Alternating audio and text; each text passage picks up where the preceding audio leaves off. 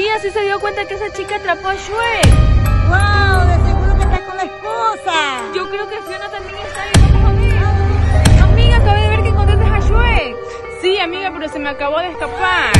Pero mira, ya va.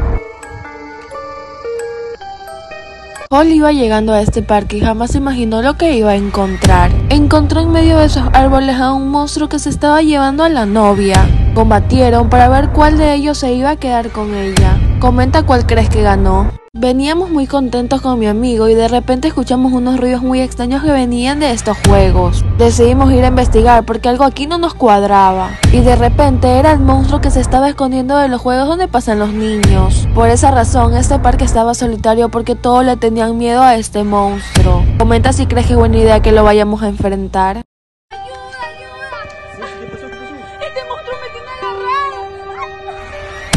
¿Tú crees que el chupacabra me atrapó y no me va a dejar salir de este lugar extraño?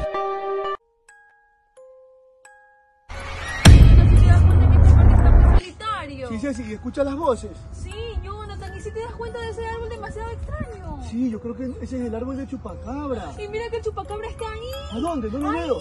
Ah, mira. Y le acercamos, acerquemos para ver, vamos a ver. Jonathan desapareció. Sí, ya no está, mira, perdió. Mira, ya no está.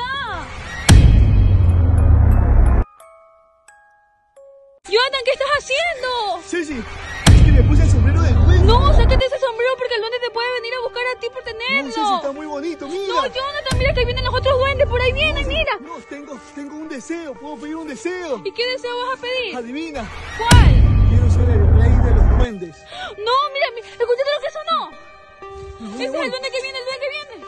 Iban caminando y no se dieron cuenta que el monstruo de la noche estaba en esta playa muy misteriosa.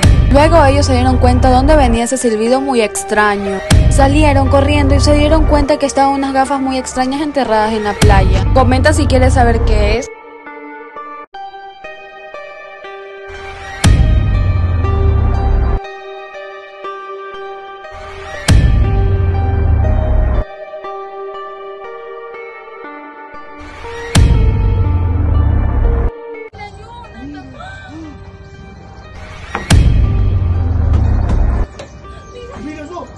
Mala idea, Ceci.